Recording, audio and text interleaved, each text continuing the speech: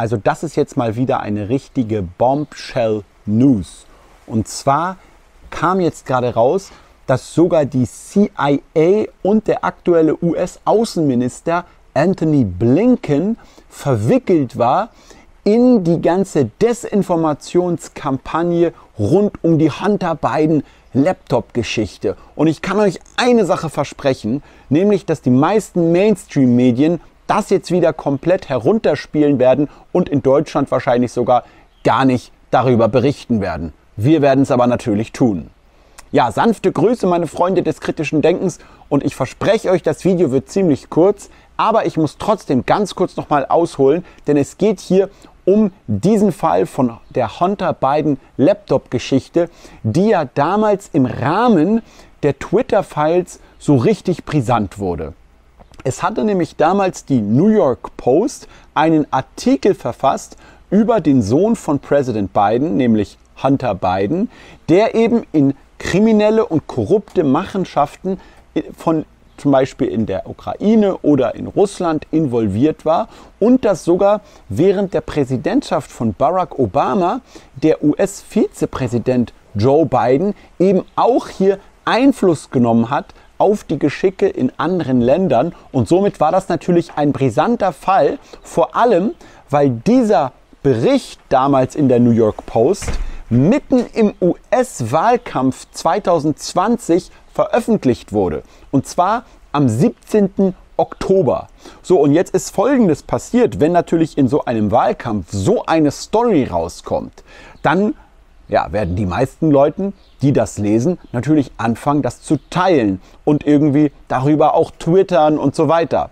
Und genau das ist passiert, weswegen nur drei Tage später, das ist das, was jetzt rauskam, drei Tage später ein Brief eingetrudelt ist bei dem damaligen stellvertretenden Vizedirektor von der CIA namens Mike Morell.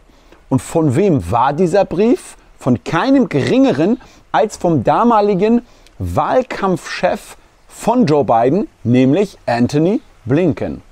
Und was der an den Mike Morell geschrieben hat, das war wirklich absolut heftig. Er hat nichts anderes gesagt als, wir wollen, dass ihr jetzt einen Brief schreibt und unterzeichnet von mindestens 50 wichtigen CIA und Intelligence Committee so Mitgliedern, dass eben diese gesamte Geschichte von der New York Post einfach eine russische Desinformationskampagne ist, um Joe Biden zu schaden. Und was hat dieser Mike Morell gemacht?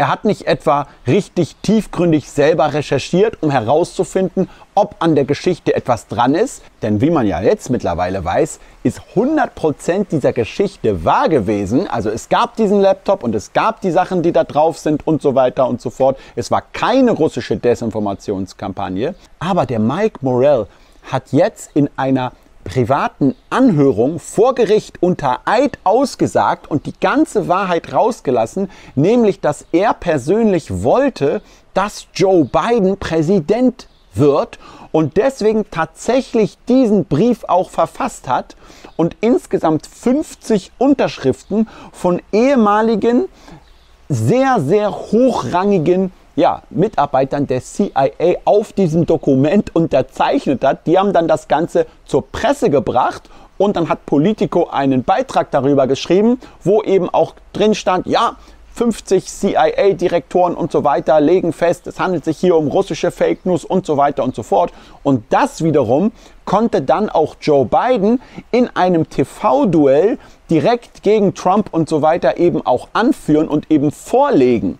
His buddy, Rudy Giuliani, he's being used as a Russian pawn. The emails allegedly found on a laptop in Delaware indicated Biden met with an executive of a Ukraine gas company while he was VP and while his son Hunter was employed by it, raising questions of conflict of interest. I did my job impeccably. I carried out U.S. policy. Not one single solitary thing was out of line. Not a single thing. Biden calls it part of a smear campaign, possibly involving Russian interference. I mean the laptop is now another Russia, Russia, Russia hoax? And You that's exactly be- what- Is this that's where you're exactly going? what This is told. where he's going. The laptop is Russia, Yes. Russia, Gentlemen, Russia. I want to stay on the issue of race. you okay? have to be kidding. Das heißt, in diesem Fall waren es hier nicht die Russen, die eine Desinformationskampagne gefahren haben, sondern, und das muss man sich jetzt mal vorstellen, es gab ja einerseits das FBI, welches involviert war, weil die ja zum Beispiel auch diese Desinformationskampagne mit Twitter und so weiter initiiert haben.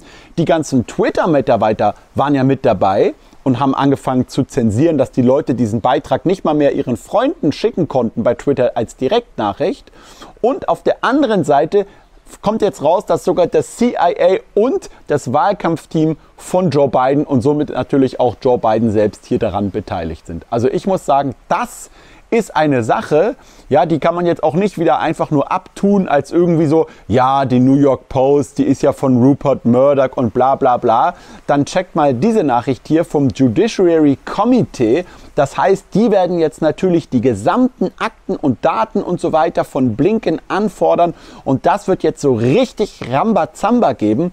Und ja, die Prognosen dazu, die braucht man jetzt gar nicht machen. Kommt es vielleicht sogar zu einem Amtenthebungsverfahren von Joe Biden? Ich kann es mir gut vorstellen, weil das ist ja wirklich das krasseste, was man sich vorstellen kann. Das ist auch im Vergleich zu dem, was gerade mit Donald Trump und seiner ähm, äh, Geschichte mit der äh, ja, Pornoproduzentin und so passiert, ja ein absoluter Witz im Vergleich. Und ja, ich bin also echt massiv erstaunt, wie heftig hier tatsächlich eingegriffen wurde. Das heißt, ich meine, wenn wir mal zurückspulen, damals in den ersten Wahlkampf von Trump und so, da gab es ja diese ganze Cambridge Analytica-Geschichte. Und was Facebook da damals für ein riesiges Fass aufgemacht hat und angefangen hat, übrigens ja auch völlig zu Recht, ja, eben andere Maßnahmen zu treffen. Beispielsweise, das finde ich übrigens sehr gut, dass man für politische Spenden, gerade auch für im Wahlkampf und so, dass man das eben transparent bei Facebook offenlegen muss, wer da zum Beispiel gespendet hat und wie viel Geld zum Beispiel ausgegeben wird für so politische Werbung und so weiter. Ich meine, alleine schon aus Transparenzgründen, wenn das mit öffentlichem Geld passiert, ist das ja für die Leute, die das schlussendlich zahlen, wichtig. Aber wo bleibt jetzt sozusagen der Aufschrei, ne? dass eben solche Desinformationskampagnen nicht irgendwo nur von außen kommen, sondern direkt von den USA selbst und zwar mit vielen, vielen Leuten innerhalb der CIA, des FBIs und sogar von hochrangigen äh, Mitarbeitern von Tech-Konzernen, die alle eben aufgrund ihrer progressiven Neigungen, also damit meine ich, dass sie halt eben alle eher demokratisch wählen und so weiter, und hier aber so einen heftigen Einfluss auf diese Wahl eben genommen haben. Also ich glaube, hier gibt es so einige Leute, gegen ihre, die gegen ihren Amtseid und so weiter hier verstoßen haben. Und ich glaube, das wird jede Menge an Klagewellen geben. Und das ganze Thema, das wird jetzt richtig brenz, brenzlig. Und das ganze Thema, das wird jetzt richtig brenzlig. Und ich finde es einfach unfassbar, was hier immer wieder rauskommt. Ja.